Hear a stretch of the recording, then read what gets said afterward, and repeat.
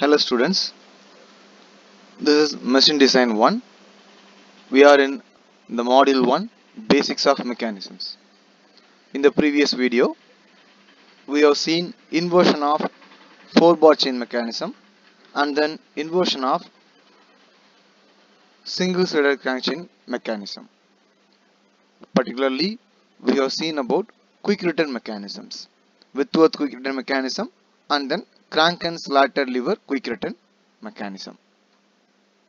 So today we are going to continue the inversion of single threaded crankchain mechanism.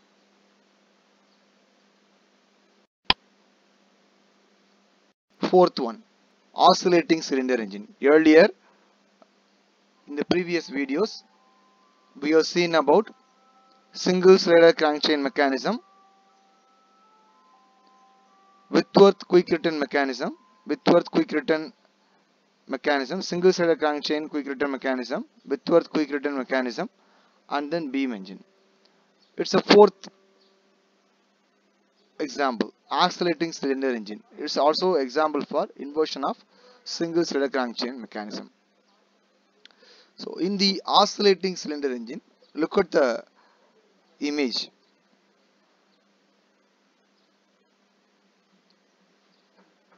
There is a fixer link.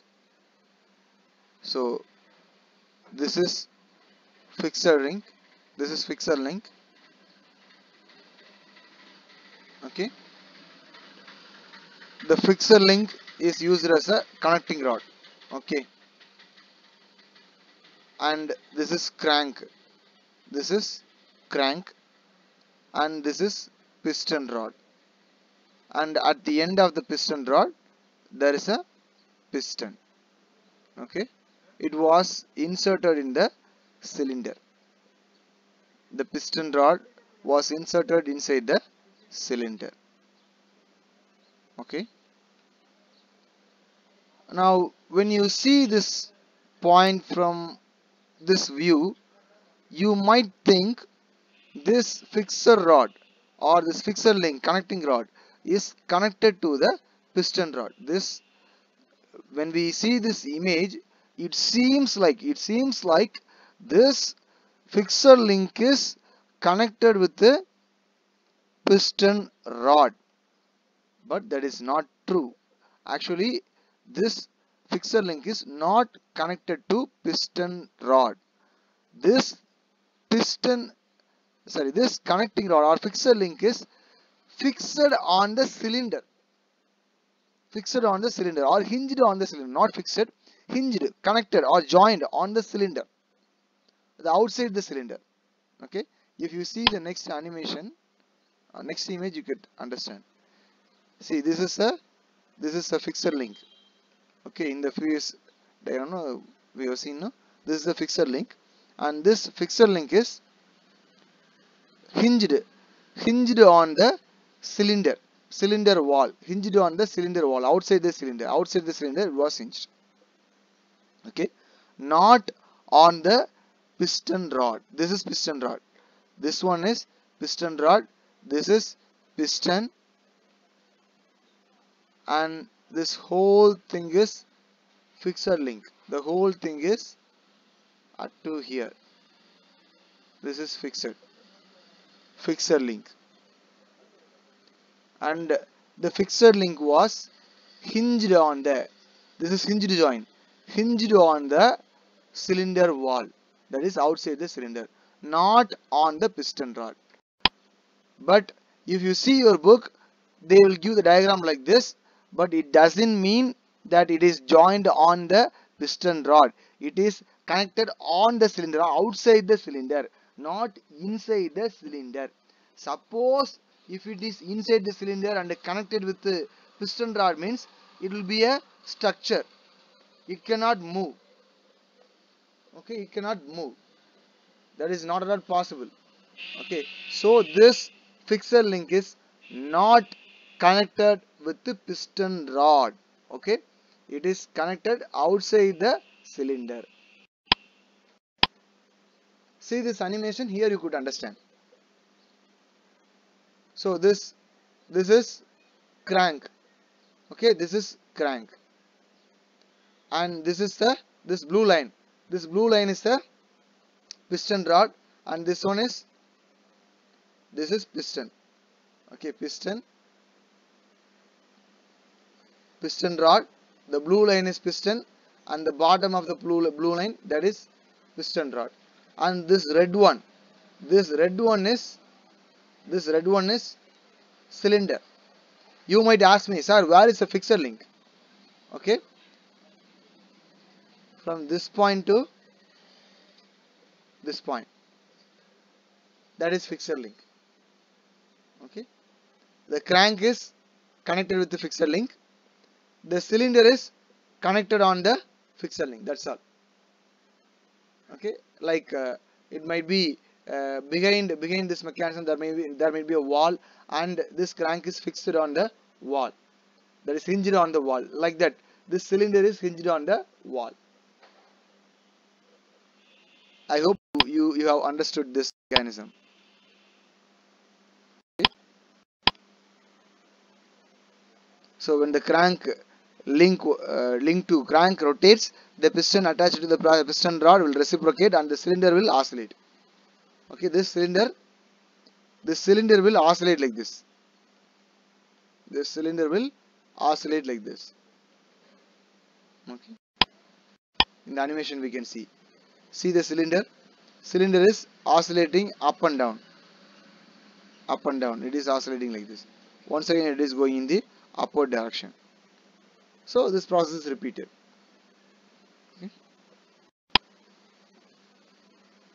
last one. Pendulum pump or bull engine? Pendulum pump or bull engine? Here also in this case also crank when you look at the diagram it will look like crank is fixed on the or hinged on the piston rod but it is not so.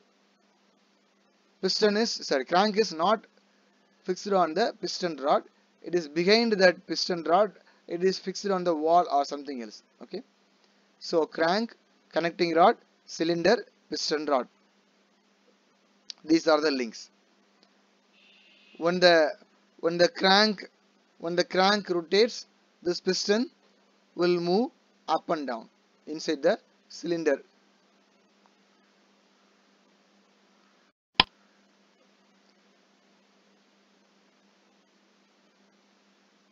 this is how this mechanism will work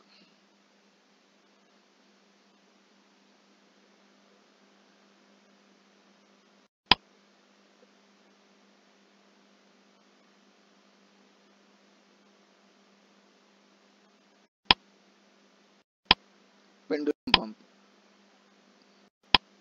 Look at this diagram, you can easily understand.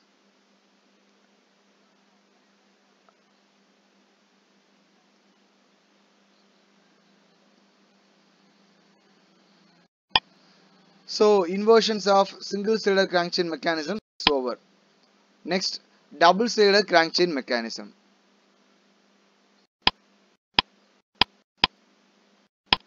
First of all, we have seen four bar chain mechanism.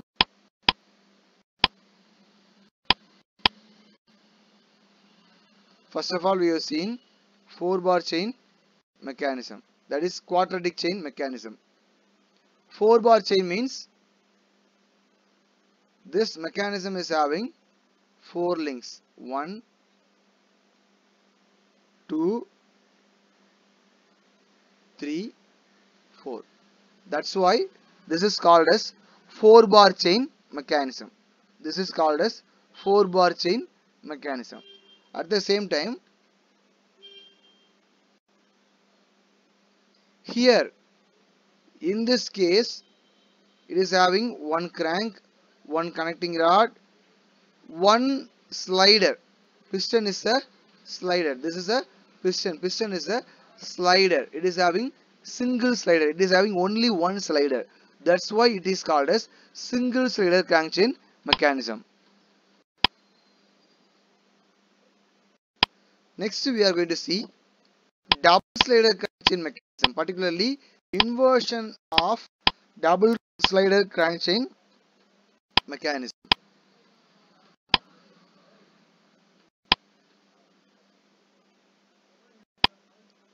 So single cylinder means it is having single cylinder. Double cylinder means definitely it's going to have double cylinder. So the examples for double cylinder crankshaft mechanisms are elliptical trammel, Scotch yoke mechanism, Oldham's coupling. Example for double-sided crankchain mechanism. Inversions of double-sided crankchain mechanisms are elliptical trammels, Scotch-Yoke mechanism, Oldham's coupling. First, let us see the elliptical trammel. This is elliptical trammel. Why they have named this mechanism as elliptical trammel? What is the reason? I will tell you the reason now. So in this case, this piston, it is having two piston or two slider. Slider B, consider slider B as link 1. Okay. Then connecting rod, connecting rod between slider B and slider A. Consider that as link 2 two links. Now this A is also a slider, second slider. So this is link 3. Okay. At the end, this frame, this frame is there no? This frame. This frame, the whole setup, the whole setup, the whole frame is a fixed link. Okay. The whole frame or slotted plate is also called as fixed link, slotted plate or frame or fixed link. This is link 4. So it is having 4 links. Slider 1 first link, connecting rod that is bar second link, slider 2 that is slider A third link, finally slotted plate or frame or fixer link, link 4. Totally 4 links are there. Okay? Suppose if you fix if you fix if you fix a pencil or sketch at this place. Okay? Suppose if you fix a pencil or sketch at this place on the connecting rod. At this place on the connecting rod what will happen? That will trace, that pencil or sketch will trace a perfect ellipse. That will trace a perfect ellipse. That's why they have named this instrument as elliptical trammel. Elliptical trammel. So when the piston B or slider B moves in this direction, slider A will move in the downward direction. Let us see how it is working.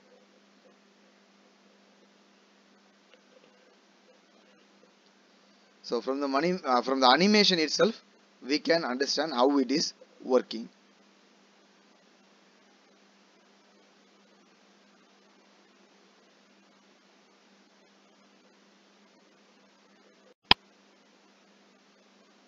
So a few more examples. So this is how elliptical trammel will work. This if you fix pencil or pens, pen or sketch at this end means at this end okay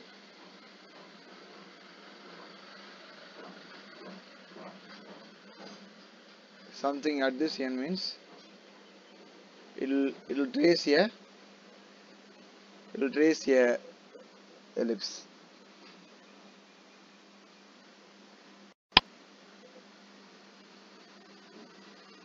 So there is a formula for ellipse. For every curve some formula is there. If you take uh, a parabola means I think the formula is uh, y equal to 4ax that is a formula for uh, parabola. Similarly, for ellipse, there is a formula x by q the whole square plus y by p the whole square equal to cos square theta plus sine square theta.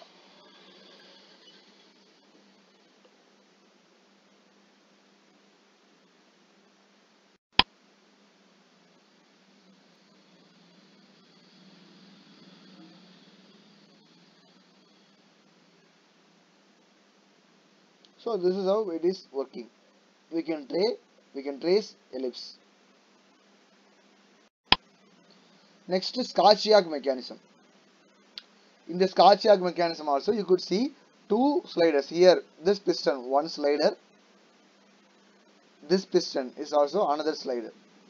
So we already we know that this is a inversion of double slider crankshaft mechanism. So here one slider, here one slider, two sliders. So when the crank rotates, when the crank rotates, this slider will also rotate along with the crank. At the same time, this slider will move up and down inside this path, inside this groove path. So when the slider move up and down in this uh, groove path, this piston rod will come back back and fro. Okay, it will move back and fro. Then ultimate, ultimately this piston will move front and back. This is how Scotch-Yoke mechanism is working. So Scotch-Yoke mechanism is converting the rotary motion of the crank into reciprocating motion of the piston.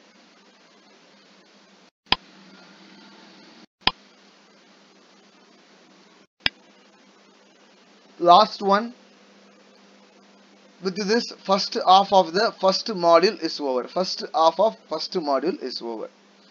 Okay. Last one. Last example for double slider crankchain mechanism. Inversion of double slider crankchain mechanism is Oldham's coupling. Oldham's coupling. From the animation itself you can understand what is the purpose of this coupling. Okay. Where we use coupling? Where we use coupling? We use coupling in many places particularly to connect two parallel shaft. Suppose here one shaft and here one more shaft. If I want to connect these two shaft I have to use a coupling. If I put a coupling, it will be connected with each other. So this is the purpose of coupling. Okay, two parallel shaft, two parallel shaft. To connect two parallel shaft. Suppose if one shaft is like this and another one shaft is little offsetted like this. Okay one shaft is like this and another one shaft is little offsetted so how we can connect these two shafts? So in that place we cannot use normal couplings.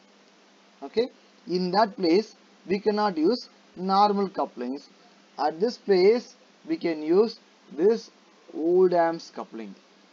So the purpose the main purpose of Oldham's coupling is to connect two offsetted shafts. To connect two offsetted shafts so here you could see in the image. So this is shaft A driving shaft. This is shaft B driven shaft. Okay? Shaft A driving shaft. Shaft B driven shaft. So both the axes are offsetted by this distance. So both are offsetted by this much distance. Now we have to connect each other or we have to transfer motion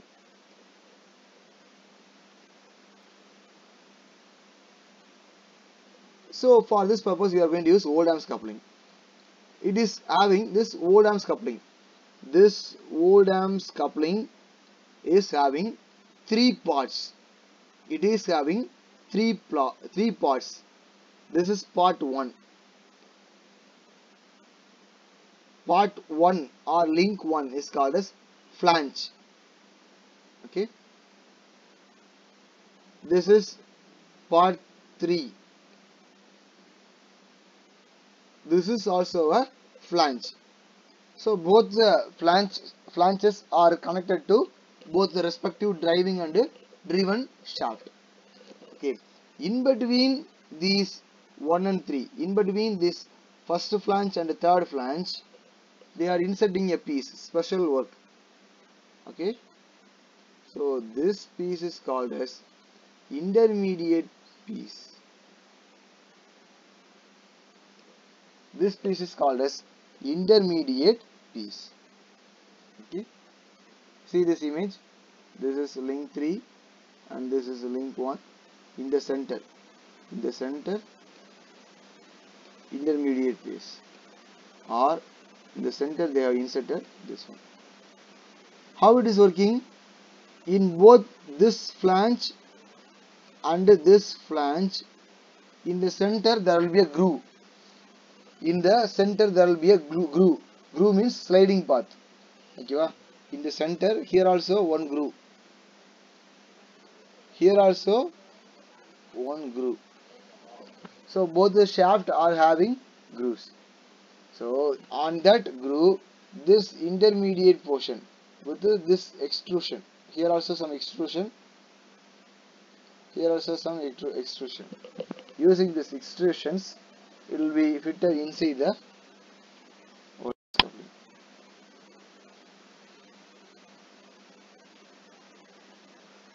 this is how it is.